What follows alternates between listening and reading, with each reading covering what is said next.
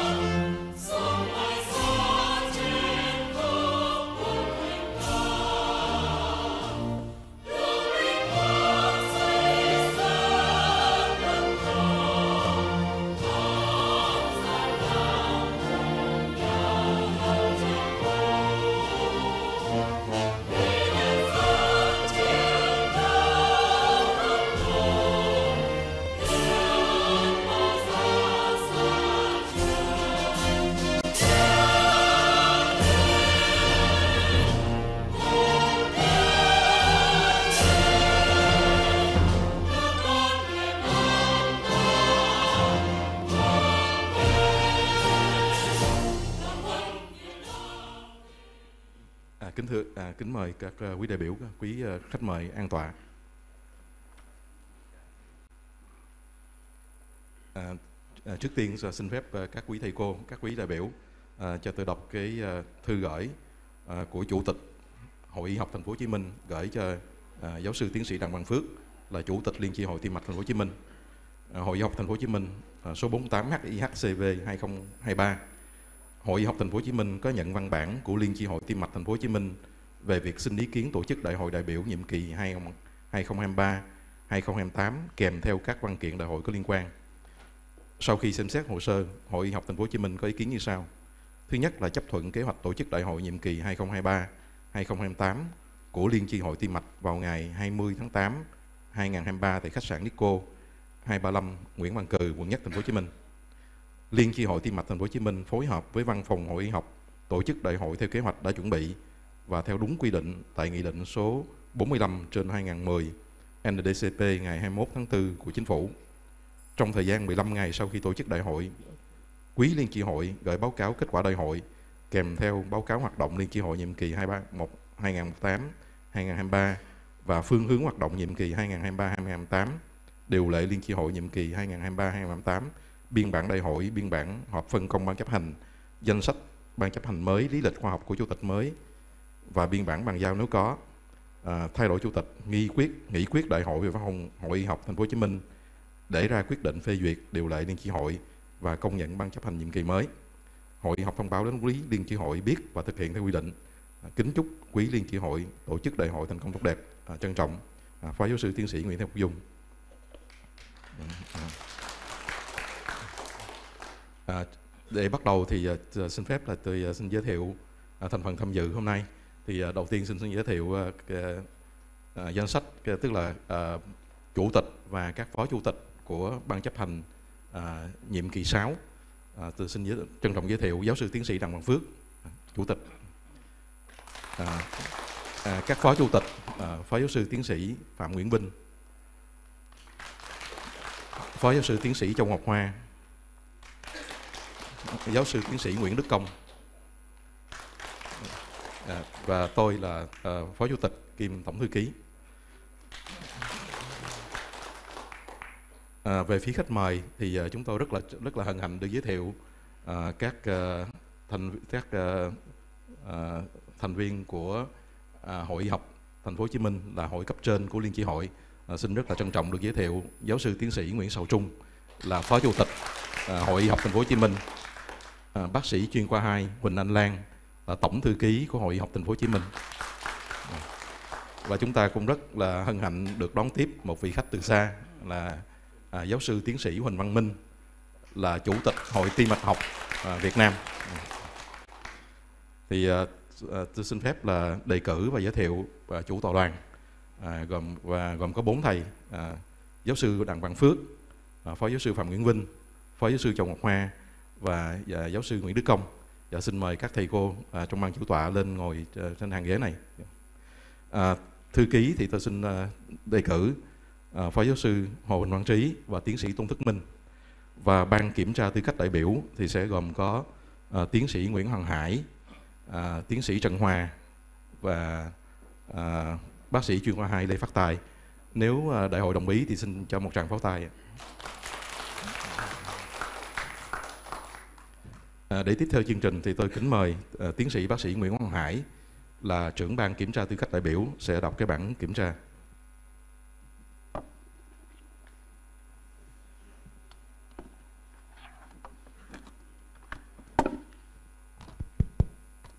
Yeah. À, kính thưa giáo sư Nguyễn Sào Trung, Phó Chủ tịch Hội Y học Thành phố Hồ Chí Minh. Kính thưa giáo sư Đặng Văn Phước, à, Chủ tịch Hội Tim mạch Thành phố Hồ Chí Minh. Kính thưa giáo sư Huỳnh Văn Minh, Chủ tịch Hội Tim mạch Việt Nam. À, kính thưa quý thầy cô, quý đồng nghiệp và kính thưa quý vị đại biểu. Thì được sự phân công, à, tôi xin thay mặt Ban Kiểm tra tư cách đại biểu báo cáo với đại hội về việc xác nhận tư cách đại biểu tham dự đại hội Liên chi hội tim mạch thành phố Hồ Chí Minh lần thứ 7, nhiệm kỳ 2023-2028. Hôm nay vào lúc 8 giờ ngày 20 tháng 8 2023, Ban kiểm tra tư cách đại biểu Đại hội Liên chi hội tim mạch thành phố Hồ Chí Minh lần thứ 7, nhiệm kỳ 2023-2028 gồm có 3 thành viên. Thứ nhất, tiến sĩ Nguyễn Hoàng Hải, trưởng ban. Thứ hai, tiến sĩ Trần Hòa, ủy viên. Thứ ba, bác sĩ chuyên khoa 2 Lê Phát Tài, ủy viên đã tiến hành làm việc và xin báo cáo kết quả thẩm, thẩm tra tư cách đại biểu tham dự đại hội đại biểu lần 7 nhiệm kỳ 2023-2028 như sau. Một, tổng số đại biểu được triệu tập là 60 đại biểu. Số đại biểu có mặt là 50 đại biểu. Trong đó, đại biểu do các chi hội thành viên đề cử là 40. Đại biểu do ban vận động đề cử là 10. Số đại biểu nam là 28, số đại biểu nữ 22. Về thành phần đại biểu tham dự như sau. Ủy viên của ban vận động 5, ủy viên ban chấp hành các chi hội thành viên 20 và các hội viên là 25 đại biểu. À, 100% đại biểu là hội viên của Liên chi hội tim mạch thành phố Hồ Chí Minh đã và đang công tác tại các cơ sở y tế của thành phố Hồ Chí Minh đã được các chi hội thành viên cử làm đại biểu chính thức tham dự đại hội. Đến thời điểm này, à, chúng tôi chưa nhận được bất cứ một ý kiến phản ánh hoặc đơn thư khiếu nại nào về tư cách của đại biểu. Chúng tôi xin xác nhận với đại hội 100% đại biểu có mặt tại đại hội hôm nay đủ tư cách tham dự đại hội. Nếu có vấn đề gì phát sinh về tư cách đại biểu của đại hội thì chúng tôi xin tiếp tục báo cáo với đại hội. Căn cứ theo điều lệ của Liên chi hội và quy chế tổ chức đại hội, tôi xin tuyên bố đại hội đủ điều kiện để được tiến hành và xin kính chúc quý vị đại biểu sức khỏe, chúc đại hội thành công tốt đẹp. Trân trọng cảm ơn.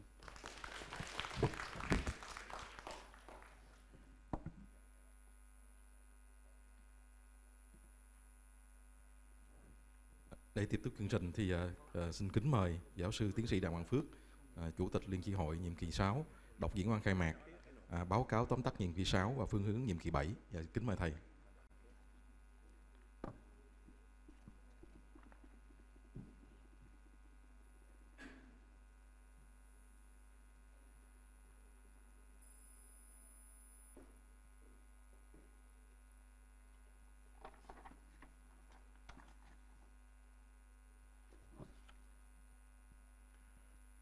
Kính thưa giáo sư tiến sĩ Nguyễn Sào Trung, Phó Chủ tịch Hội uh, uh, Y học Thành phố Hồ Chí Minh.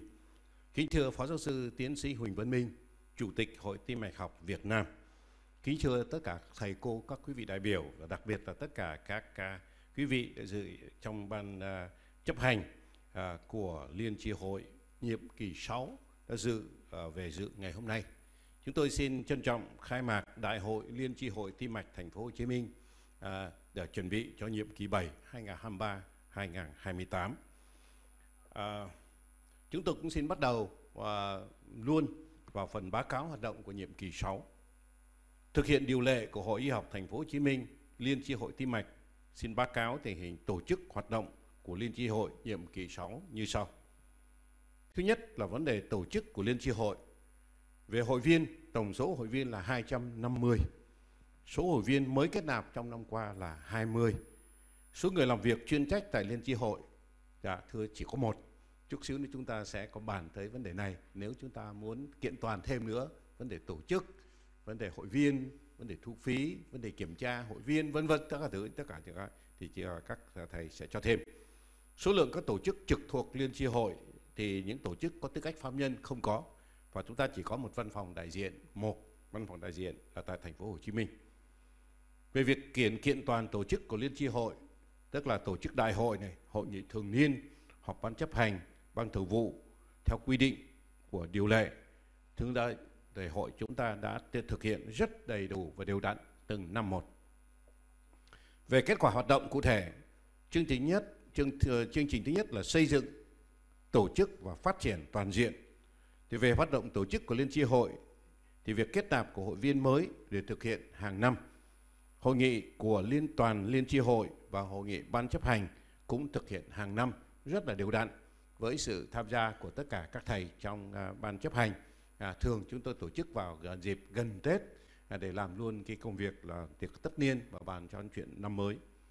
Tổ chức đại hội đại biểu nhiệm kỳ thì cũng tổ chức đúng hạn và hôm nay chúng ta cùng họp mặt tại đây để chúng ta tổ chức cái uh, đại hội của liên tri hội tim mạch thành phố Hồ Chí Minh cho chuẩn bị cho nhiệm kỳ 7 2023 2028 về hoạt động à, về chương trình 2 là phát triển khoa học đào tạo, công nghệ thông tin và báo chí.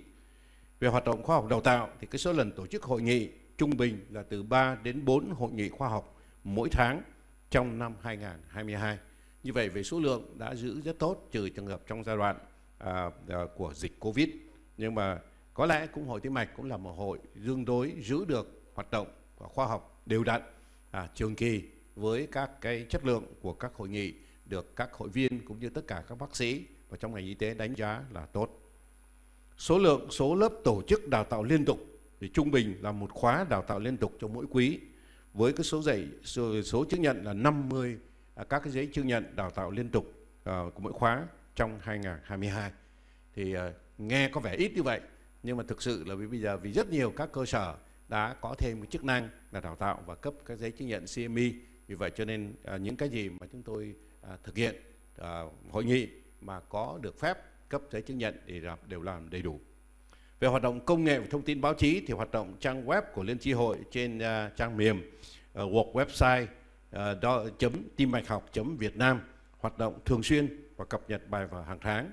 Số tin bài đăng là trên 400 và số lượt truy cập trong các kỳ báo cáo khoảng 1.000 à, tức là cũng được rất là tốt Hoạt động báo chí tên báo là chuyên đề tim mạch học đã xuất bản hàng tháng với hình thức à, báo in. Về chương trình công tác đối ngoại và hợp tác quốc tế thì à, Liên tri hội đã liên kết với các hội bạn trong và ngoài nước, Hội tim mạch học Việt Nam, Hội à, à tim mạch hữu nghị Việt Đức. Và nếu mà về hoạt động của các hội khác ở trong uh, uh, hội y học, tổng hội y học thì Hội tim mạch Việt Nam tham gia rất là đầy đủ rất là tốt với bên hội nội tiết đái tháo đường các uh, các cái hội về uh, tĩnh mạch. Uh, sau đó thì gần đây một số các hội mới được thành lập thì hội tim mạch Việt Nam và hội liên tri hội cũng tham gia rất kỹ. Đó là hội uh, suy tim này. À, vừa rồi chúng ta có hội kể cả hội sơ vữa động mạch mới thành lập gần đây và hội mạch máu bệnh lý mạch máu. À, thì à, đã làm rất là tốt. Chút chút xíu chúng tôi sẽ có ý kiến thêm về vấn đề như vậy các cái phân hội hoặc là các cái hội chuyên khoa sâu như vậy hoạt động rất là mạnh à, bên hội à, nhịp học của thầy Minh nữa. Và bên này tham gia rất kỹ. Thì vai trò của liên chi hội tim mạch còn không hay là nó trùng xuống là vì các uh, chương trình của các hội khác cũng khá là rất là hấp dẫn rất là nhiều. Mặc sự có sự trùng lắp. Nhưng mà như vậy thì những cái đại hội chúng ta nói cái gì à, còn các liên chi hội và những phân hội nói cái gì có lẽ chúng ta cũng dần dần cũng phải có sự phân công để có sự khác biệt thì đây cái này đây là ý kiến của à, à, các anh em bác sĩ. Bảo là thấy đi nhiều quá và thấy cũng có sự trùng lấp. À, sơ vữa động mạch lẽ nhiên cũng từ bệnh mạch máu cho tới sơ vữa động mạch cho tới đủ hết các bệnh. À, bên rối loạn nhịp cũng có ờ, thông ờ, cũng có về cả về nhiều cái chuyện khác. Thì cái này chút xíu nữa. Và đặc biệt là khi chúng ta góp ý kiến cho cái hoạt động mới của cái ban chấp hành liên tri hội mới xin các à, anh chị có góp ý kiến để chúng ta làm tốt hơn tránh cái sự trùng lắp À, để cho cái tình trạng mà à, các cái hội nghị có thể nó sẽ có những cái đó. Về chương trình 4 của à, Liên tri hội là công tác tư vấn phát hiện ở phản biện và xã hội từ thiện thì tư vấn phản biện là nhiều ủy viên của ban chấp hành liên chi hội đã tham gia các hội đồng xét duyệt đề tài nghiên cứu của sở khoa học công nghệ thành phố hồ chí minh và của tất cả các cái hội các cái hội đồng à, khoa học kỹ thuật à, công nghệ của tất cả các trường đại học à, theo như chúng tôi biết và chúng tôi cũng là những người đề xuất à, các thành thầy ở trong cái tim mạch khi có à, những cái vấn đề liên quan liên quan về xã hội từ thiện thì năm 2020 Liên tri hội đã đóng góp 5 triệu đồng cho Hội Y học Thành phố Hồ Chí Minh để hỗ trợ đồng bào miền Trung khắc phục hậu quả à, thiên tai theo thư kêu gọi của Mặt trận Tổ quốc Thành phố Hồ Chí Minh ngày mùng 4 14 tháng 10 2020. À, chút xíu nữa trong vấn đề nói tới hướng tới chúng ta cũng phải tính tới chuyện này là vì các hội khác cũng hoạt động rất là tốt và vấn đề tham gia các cái à, công tác từ thiện cũng là một trong những cái mà chúng ta cũng cần góp ý thêm sau khi đã làm tốt về công tác chuyên môn. Phần thứ ba là phần tổng số kinh phí hoạt động trong 5 năm là 449 triệu đồng ờ, 950 ngàn đồng. Trong đó thì à, ngân sách của nhà nước hỗ trợ là không. À, kinh phí do tổ, do tổ chức nước ngoài trong những năm vừa rồi cũng là không. Liên triều đã tự huy động từ các nguồn khác, trong đó hội phí là 130 113 triệu. Kết kết dư hoạt động uh, hoạt động uh, truyền thông là 11 triệu.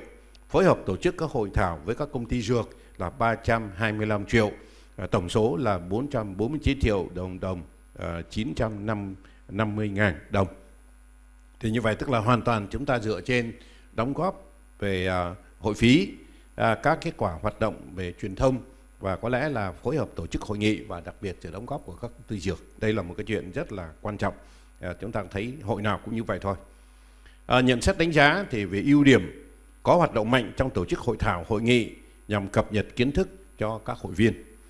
Khuyết điểm là chưa tham gia các phong trào khác, các phong trào khác nữa. Tồn tại là chưa quản lý chặt chẽ hội viên.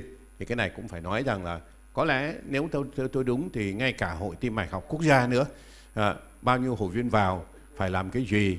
À, đi hội nghị à, có đăng ký không? Rồi đi hội nghị có dự hội nghị không? Hay là đi tham quan vân vân tất cả thứ giống cái thời của thầy thầy uh, Trần Đỗ Trinh vân vân. Hoặc cái quan trọng nhất là đóng kinh phí, đóng hội phí, sau đó tham gia, rồi sau những chuyện khác nữa và quyền lợi cũng như là các trách nhiệm của các hội viên. Thì có lẽ chúng ta cũng cần phải làm kỹ hơn. À, và với à, bây giờ với phương tiện truyền thông như các anh chị đây, các anh chị đã là À, hội viên của hội à, à, của các hội quốc tế như là ACC hoặc ASA vân vân thì chúng ta cũng có biết những cái liên hệ và cái việc chúng ta phải làm. À, nguyên nhân thì có lẽ là thiếu nhân lực thì không biết là hội hội chúng ta sẽ có người nào thêm vô để cùng với lại à, một người nhân lực duy nhất của hội ở đây là cô cô vừa làm thư ký vừa làm tất cả mọi chuyện hành chính là cái cô Trinh. Đề xuất và kiến nghị thì không có nhưng trên đây là vừa rồi là báo cáo về tổ chức hoạt động nhiệm kỳ thứ sáu của Liên tri hội tim mạch à, báo cáo à, cho hội y học thành phố Hồ Chí Minh. Chúng tôi xin à, nói luôn những phương hướng chính công tác trong nhiệm kỳ tới 2023-2028, nhiệm kỳ 7. Hoạt động về tổ chức hội thì tiếp tục cùng tùng cố khâu tổ chức, à, nắm thông tin về cấp thẻ hội viên. Chúng ta cũng à, thấy rằng chuyện này cũng làm để cho các hội viên tự hào là mình là hội viên. Lẽ nhiên không được in ở trên các visit là Ờ, bác sĩ này hội ờ, hội viên hội tim mạch thành phố Hồ Chí Minh, đồng thời vừa là hội viên thời hội tim mạch Việt Nam hội viên hội ờ, đái tháo đường thì vẫn vẫn vẫn mấy cái thì nó dài quá không có. Nhưng mà quyền lợi và đặc biệt là vấn đề tham gia những cái chuyện khác những cái chuyện mà làm khác thì chúng tôi thấy rằng có lẽ chúng ta cũng nên uh, chuẩn hóa một chuyện này. Về hoạt động khoa học kỹ thuật đào tạo liên tục và thông tin báo chí thì tiếp tục tổ chức các hội nghị hội thảo khoa học với sự hỗ trợ của các công ty dược phẩm và trang thiết bị y tế để để để cập nhật thông tin cho hội viên củng cố và tăng cường công tác truyền thông nội bộ đặc biệt là báo chí và vấn đề uh, cố gắng để làm cho cái tờ chuyên đề tim mạch học trang thông tin điện và trang thông tin điện tử để tim mạch học của liên tri hội được hoạt động tốt có chất lượng. Hoạt động đối ngoại thì uh, tiếp tục quan hệ mật thiết với hội tim mạch học Việt Nam và các liên tri hội thành viên của hội y học thành phố Hồ Chí Minh và tiếp tục hợp tác với hội tim mạch uh, Đức Việt. Và cuối cùng là vấn đề liên quan tới à, hoạt động thi đua thì xem xét việc trao các giải thưởng cho các công trình nghiên cứu có giá trị trong lĩnh vực tim mạch tại các hội nghị khoa học. À, về hoạt động tư vấn và phản biện từ thiện thì à, tiếp tục các thầy chuyên gia rồi tham gia các hoạt động à, tư vấn phản biện và đồng thời à, cả về xã hội cho hội y học ở thành phố Hồ Chí Minh chủ trì hoạt động tài chính à, hoạt động tài chính hội và hội phí thì à, cố gắng đảm bảo việc thu hội phí và nộp đủ hội phí cho hội y học thành phố Hồ Chí Minh. Cái này là xin hứa không có thiếu. Ờ, để đây có hội nhưng mà cho nên hứa như vậy. Công tác chính trị tư tưởng để phổ biến huấn luyện kiến thức cho hội viên, hướng dẫn hội viên tuân thủ pháp luật, chế độ chính sách, các chủ trương của Đảng và nhà nước. Các công tác khác thì à, chúng tôi thấy rằng là tổ chức các hoạt động truyền thông uh, giáo dục kiến thức về sức khỏe tim mạch cho người dân, tổ chức các buổi nói chuyện chuyên đề hưởng ứng ngày tim mạch thế giới. Còn cái việc truyền thông các kiến thức về tim mạch thì tôi thấy bây giờ có quá nhiều các kênh, có quá nhiều các chương trình làm thì cũng khá tốt. À, nhưng cũng có tới lúc có khi cũng phải xem xét lại cái vấn đề là ai nói cái gì chỗ nào chứ bây giờ nhiều lắm bật lên thì có thể nghe rất là nhiều à, cũng toàn gương mặt thân quen thôi nhưng mà trong rất nhiều chương trình thì cái này cũng là một trong những cái uh, hội liên chi hội mình phải có trách nhiệm vâng thì à, cái điều nó tóm tóm lại là chúng ta đã làm được hết tất cả các chức năng của một hội nghề nghiệp. À, chúng tôi nghĩ lại và thời gian sau này có những sự phát triển của các hội càng ngày càng nhiều thêm. À, chúng tôi thấy các liên chi hội khác đó rất là hay đó là xu hướng vì nó bắt đầu giải quyết vấn đề chuyên khoa nhưng nó cũng đặt ra cho liên chi hội tim mạch là như vậy. Nếu mà anh làm trưng hoặc là anh đứng không phải là đứng trên mà là đứng chung như vậy thì vấn đề à, những vấn đề chuyên môn những vấn đề khác của mình là ở đâu? À, còn các lia các cái chi hội nhỏ sơ vữa động mạch dưới là nhịp suy tim bệnh à, kể kể cả những cái chuyện ví dụ như là vấn đề liên quan tới à, à, mạch máu vân vân các thứ đó tĩnh mạch nữa cũng có nữa. Thì các cái phân phân, phân nhau như thế nào làm thế nào cho nó tốt. Và à, các hội nghị của chúng ta vì uh, đại dịch covid đã làm thay đổi nhưng chúng ta nên nhanh chóng lấy lại được uh, nhịp độ. Và theo tôi thì uh, nhìn các thầy rất là uh, khỏe mạnh trẻ trung các thầy trong ban uh, chúng tôi rất mong xin xin các thầy nhá các thầy có tổ chức những phân hội hoặc là những hội chuyên khoa các thầy lo cho chỗ đó. Nhưng các thầy là là hội viên của liên chi hội tim mạch. Cái chuyện chính các thầy phải lo rồi sau đó các thầy mới lo chuyện nhỏ chứ. Đó. thành ra chúng tôi rất mong là các thầy dù là thành lập các đó nhưng mà phải có trách nhiệm với liên chi hội. Chúng ta cùng làm để liên chi hội phát triển tốt liên chi hội tim mạch trong lĩnh vực tim mạch đã là một trong những cái cuộc hội nghị rất là tốt xen kẽ với với hội nghị tim mạch toàn quốc. Cứ cách một đêm xen kẽ và từ trước kia đã chạy rất là tốt. Và một điểm cuối cùng trước khi chúng tôi ngừng lời là có lẽ cũng giống như liên chi ờ, hội tim mạch học Việt Nam liên chi hội tim mạch Việt Nam à, của chúng ta có một đặc tính là rất đoàn kết. À, không, cho tới bây giờ không có vấn đề gì linh xình thế này thế kia rất là đoàn kết với nhau làm việc rất là tốt trên tinh thần đúng nghĩa là những cái hội mà gọi là hội nghề nghiệp. Chúng ta cùng với nhau cùng chí hướng cùng làm với chuyên khoa à, cùng với nhau để làm trong cái sự sự nghiệp đào tạo nghiên cứu và kể cả phục vụ nữa. Thì không thấy có vấn đề gì. Đó là điểm chúng ta nên biết và đó cũng chỉ là sức mạnh của liên chi hội tim mạch chúng ta. Một lần nữa xin cảm ơn sự đóng góp của tất cả các thầy trong ban ban chấp hành trong thời gian qua. Cảm ơn tất cả các liên chi hội khác à, và hội à, y học của thành phố Hồ Chí Minh đã hỗ trợ rất là nhiều cho liên chi hội tim mạch Việt Nam à, của thành phố Hồ Chí Minh. Và vâng, xin cảm ơn.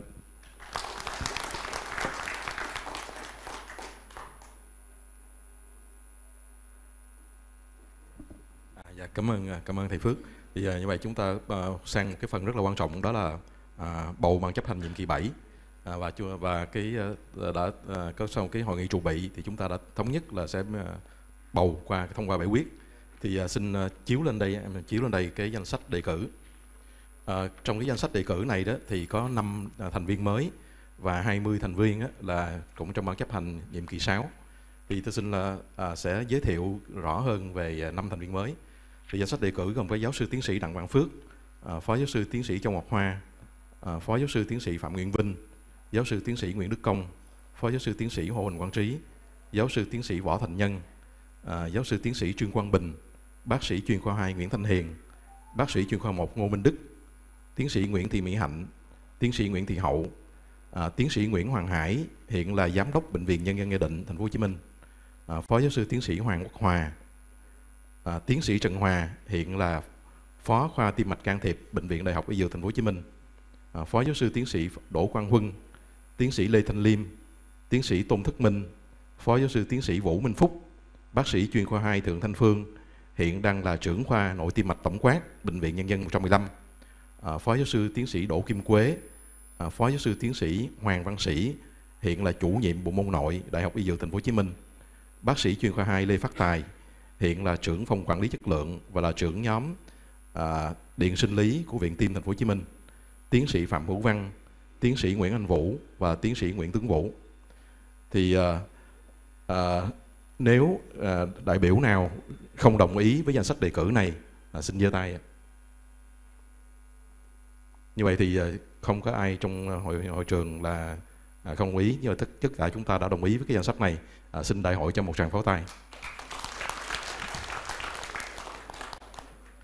À, phần kế tiếp thì à, xin kính mời à, phó giáo sư à, xin lỗi xin kính mời à, giáo sư Nguyễn Sầu Trung là đại hội à, là à, đại biểu à, đại diện của hội học à, à, thành phố Hồ Chí Minh lên à, phát biểu chỉ đạo.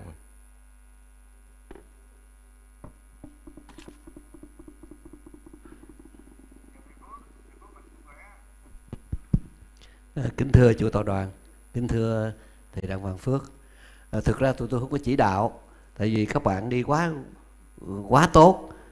Cái đạo mà cái cái đạo các bạn đi là tụi tôi phải đi theo để bắt trước. Là tại vì hội y học là là coi như là trùng trùng cao nhất của cái hội của các liên chi hội nhưng mà thực ra hội học chúng tôi không làm được nhiều như các bạn.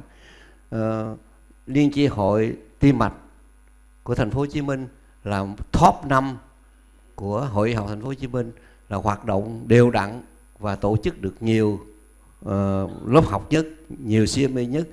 Và thực ra nói theo thầy Phước thì tôi có quan điểm khác là có nhiều hội nhỏ nhỏ, không phải nhỏ nhỏ mà những những hội nó tách biệt coi như tách biệt với liên chi hội uh, tim mạch thí dụ th- liên chi hội của thầy Tô Thức Minh liên chi hội của các bạn khác mà mới đây là liên chi hội so với đồng mạch nữa. Thực ra thì chúng ta hòa đồng với nhau và hội tức là giống như chú Tư Trung ngày xưa nói hội là hội hè nghĩa là tự nguyện hết. Khi chúng ta đến với cái hội với liên chi hội là chúng ta tự nguyện và tự nguyện để làm gì? Là để chúng ta nâng. Khi chúng ta có ý thức như thế là chúng ta muốn nâng cao kiến thức chuyên môn của chúng ta. Mà mục tiêu cuối cùng của nâng cao kiến thức nghĩa là phục vụ bệnh nhân. Và tất cả những cái những cái hội, hội nghị của các bạn tổ chức dù có tuyên chi hội nào đi nữa và có trùng lắp đi nữa và có lên trên YouTube đi nữa như YouTube của alo bác sĩ vân vân thì tất cả đều nhằm mục đích nâng cao kiến thức của chúng ta. Cái đó là mục đích cuối cùng và tôi nghĩ rằng nếu có trùng lắp cũng không sao. Về phương phương diện sư phạm y học á, nếu có lặp đi lặp lại là một dạng, giảng dạy và giúp cho chúng ta nhớ bài, khỏi phải học bài. Thí dụ bữa nay tôi đi dự hội nghị của hội, liên chi hội này, có cái bài nói về ờ, thông tim. Cả tuần sau có một cái hội khác, thí dụ hội thông tim chẳng hạn, hội can, tim mạch can thiệp, lại có cái bài giống giống vậy. Tôi đi dự, thì tự nhiên nó nhập vô đầu tôi tôi khỏi mất công học bài sư phạm y học là như vậy. Thành ra tôi nghĩ rằng quan điểm của tôi khác thì phước chút xíu. Cứ cho trùng lắp trùng lắp càng tốt. Thích anh đi, không thích thì thôi, hỏi hè mà. Đúng không? Và đi là được. Đi, mà thực ra đi cũng có cái tốt là được gặp những người bạn cũ. Hôm nay tôi rất là sung sướng. Tôi tới đây được gặp là những người mà hồi trước giờ tôi lâu lắm rồi không được gặp. Thí dụ anh phạm nguyễn vinh lâu lắm rồi không được gặp. Anh công lâu rồi không được gặp. Anh tô thức minh lâu rồi không được gặp. Mới nói chuyện mình cách đây mấy ngày trong điện thoại thôi, vì chuyện khác. Nhưng mà được gặp các bạn hội nghị là để gặp nhau. Giống như đám cưới đừng có mở loa lớn để người ta được gặp nhau. Đi đi ăn đi ăn uh, cơm buổi giá cao rồi thì phải có cơ hội gặp nhau trong cái bàn tiệc. Và cái quan điểm của tôi là đi đám cưới hay chỗ nào cũng đừng có mở nhạc lớn để ta nói chuyện được dịp gặp. Cái đầu chúng ta phải suy nghĩ như thế tôi nghĩ như vậy. Và như thế tôi nghĩ rằng có trùng lắp cũng không sao. Có trùng lắp không sao càng tốt thôi. Đó. Và đó là quan điểm thành ra tôi đi theo cái đạo của các bạn là cứ tổ chức nhiều nhiều đi. Tổ chức nhiều tôi không có trong lên như các bạn. Tôi không đi được là tại vì thứ nhất là cái đầu về về cái, cái chuyên khoa khác của tôi nó nhiều quá rồi. Mà bộ nhớ của người lớn tuổi người cao tuổi như tôi thì nó cũng hạn chế rồi ram nó gần hết hết dung lượng rồi. Thành thử ra quan điểm của tôi là như thế. Và hôm nay trong cái không khí ấm cúng này chúng tôi rất là hân hạnh được đến gặp tất cả các bạn tất cả các bạn ở đây thì tôi nghĩ chỉ có anh Phước với anh Vinh lớn tuổi hơn tôi thôi. Hoặc anh ở Hà Nội lớn tuổi hơn tôi thôi. Chứ còn là nhỏ hơn tôi hết ráo. Thành ra à, rất là hân hạnh gặp. Và không chỉ đạo gì hết chỉ chúc mừng chúc mừng các liên chi hội tim mạch học đã có một cái đại hội thành công tốt đẹp và rất là đoàn kết giống như thầy Phước nói. Và mong rằng uh, cái các bạn sẽ tiếp dĩ nhiên là sẽ tiếp tục phát huy cái, cái, cái tinh thần này rồi và chúng tôi mong rằng sẽ có cơ hội gặp các bạn trong nhiệm kỳ tới nữa xin cảm ơn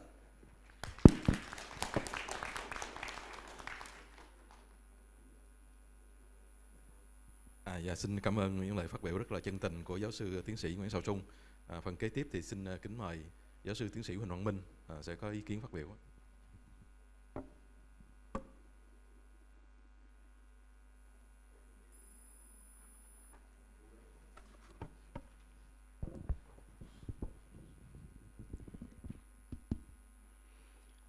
Kính thưa giáo sư tiến sĩ à, Nguyễn Sâu Trung, Phó Chủ tịch của Hội Y học Thành phố Hồ Chí Minh, à, kính thưa giáo sư tiến sĩ Đặng Văn Phước, Chủ tịch Liên chi hội tim mạch Thành phố Hồ Chí Minh, đồng thời cũng là Phó Chủ tịch của Hội tim mạch học Việt Nam.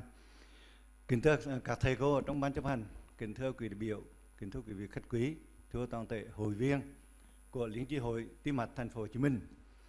Trước khi thay mặt cho ban chấp hành của Hội tim mạch học quốc gia Việt Nam, chúng tôi xin Trưng Đồng gửi đến quý thầy cô, quý đồng nghiệp trong ban chấp hành Hội tim mạch Liên chi hội tim mạch Thành phố Hồ Chí Minh, quý hội viên Hội tim mạch Thành phố Hồ Chí Minh lời chúc mừng những thành tựu to lớn của hội và lời chào mừng của Hội tim mạch quốc gia Việt Nam đến Hội Liên chi hội tim mạch Thành phố Hồ Chí Minh. Kính thưa quý thầy cô, à, kính thưa quý đại biểu, với 30 năm hình thành và phát triển, Liên chi hội tim mạch Thành phố Hồ Chí Minh đã ra đời rất sớm, chỉ một năm sau sự ra đời của Hội tim mạch học quốc gia Việt Nam với sự lãnh đạo của cố giáo sư tiến sĩ khoa học thầy thuộc nhân dân Nguyễn Mạnh Phan, nguyên phó chủ tịch của Hội tim mạch học Việt Nam và hiện nay dưới sự lãnh đạo của giáo sư tiến sĩ Đặng Văn Phước đã cùng với ban chấp hành hội thực hiện nhiều hoạt động nổi bật đáng lưu ý là việc tổ chức định kỳ các hội nghị tim mạch học Việt Nam. Và đồng thời quan trọng nhất đó là thu hút đông đảo tất cả các hội viên, không những ở tại phía Nam mà trong toàn quốc đã tham dự các hội nghị với một số lượng rất lớn. Tất cả các hội nghị đều đã được xác định đồng thời cấp phạt chứng chỉ CMI. Điều quan trọng thứ hai đó là Hội tim, Liên chi hội tim mạch Thành phố Hồ Chí Minh đã tiến hành phát hành tập san chuyên đề tim mạch học cũng như truyền đạt những thông tin mới nhất trong trang web của hội với số lượng truy cập rất lớn. Bên cạnh đó, hội cũng đã mở rộng liên kết với các hội chuyên ngành khác và Hội tim mạch Đức Việt hàng năm cũng đã đem lại những kết quả, những sự đổi mới phong phú làm phong phú hoạt động của hội qua các chuyên đề thời sự trên đài truyền hình. Phải nói rằng hoạt động của Hội tim mạch Liên chi hội tim mạch Thành phố Hồ Chí Minh đã có một sự lan tỏa ảnh hưởng rất lớn không những ở phía Nam mà cả trên toàn quốc. Đặc một trong những đặc điểm mà phải nói cá nhân tôi cũng rất hết sức kính phục đó là Liên chi hội tim mạch Thành phố Hồ Chí Minh là nơi hội tụ của các thầy cô có tuổi đời và tuổi nghề tim mạch cao nhất nhì hiện nay trong toàn quốc. Đây là những tấm gương học tập cho các hội viên, các bác sĩ trẻ ở trong mọi miền chúng ta học tập nâng cao kiến thức về tim mạch. À, kính thưa uh, giáo sư tiến sĩ Ngân Sâu Trung, thì như vậy cái hội tim mạch học quốc gia Việt Nam hiện nay á, là như vậy là có 7 phân hội, bao gồm có phân hội tăng áp, rối loạn nhịp tim, sơ vữa động mạch, phân hồi điều dưỡng, phân hồi về tim mạch can thiệp, phân hồi tim bẩm sinh và sớm tim. Riêng ba miền thì chúng ta có ba liên chi hội, liên chi hội tim mạch uh, thành phố Hồ Chí Minh, liên chi hội tim mạch miền Trung, nhưng riêng Hà Nội thì chỉ có là hội tim mạch của Hà Nội mà thôi. À, với cái ba hoạt động đó kết hợp với sự hoạt động nổi bật của hội tim mạch liên chi hội tim mạch Việt Nam, chúng tôi hy vọng rằng trong thời gian đến đại hội qua đại hội tim mạch lần này à, không những là một cái cột mốc đánh giá những sự lớn mạnh của hội, mà là một những sự kiện quan trọng về khoa học nhằm nâng cao sức mạnh học thuật, đào tạo và nhất là chuyển giao kỹ thuật sau một thời kỳ mà chúng ta lắng đồng do dịch bệnh covid. Chắc chắn qua đại hội lần này, chúng ta sẽ có những phương ngọt hoạt động mạnh hơn, cập nhật và hiệu quả hơn trong nhiệm kỳ đến. Đại hội à, tim mạch quốc gia Việt Nam liên kết với đại hội tim mạch Đông Nam Á, viết tắt là FCC, đang đến gần với sự chuẩn bị hết sức gấp rút hơn bao giờ hết. Ban chấp hành của Hội Tim mạch học Việt Nam rất mong muốn à, sự đồng hành, sự phối hợp cùng với Hội Tim mạch Quốc gia Việt Nam để chúng ta sẽ tổ chức một cái hội nghị tim mạch quốc gia Việt Nam liên kết với FCC tổ chức vào ngày 2 và ngày 5 tại Cung Văn hóa uh, Quốc gia Mỹ Đình Ờ, trong thời gian sắp đến. Thì một lần nữa ờ, chúng tôi ờ, xin kính chúc quý thầy cô, đặc biệt là uh, chủ tịch của Liên chi hội tim mạch quốc gia Việt Nam, giáo sư tiến sĩ Đặng Văn Phước, các thầy cô trong thường vụ, trong ban chấp hành mới, chúng ta nhiều sức khỏe và sẽ kết hợp với Hội tim mạch quốc gia Việt Nam trong thời gian đến. Xin chân thành cảm ơn.